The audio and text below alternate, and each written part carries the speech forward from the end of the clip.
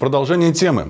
В поселке совхоза имени Ленина начал работать пункт сбора гуманитарной помощи для жителей и беженцев с Донецкой и Луганской народных республик. Его открытие стало возможным благодаря инициативе общественного движения «За совхоз за людей за достойное будущее» и администрации Картинского отдела округа. Кафе у дедушки АУ когда-то было популярным местом у жителей поселка, но из-за конфликта владельцев с бывшим директором ЗАО совхоз имени Ленина Павлом Грудининым здесь была отключена вода и канализация. Теперь в бывшем кафе начал работать пункт приема гуманитарной помощи для жителей и беженцев ЛДНР.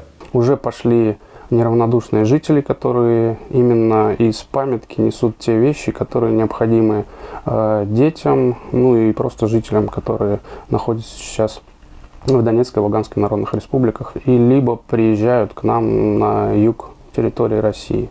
Тех, кто желает помочь беженцам и жителям ЛДНР, ждут в будние дни с 10 до 18 часов. Андрей Извеков отметил, что это не первый пункт приема гуманитарной помощи, открытый на территории отдела Картинский. Мы запустили пункты в развилке, два пункта тоже предприниматели помогают вот, активно.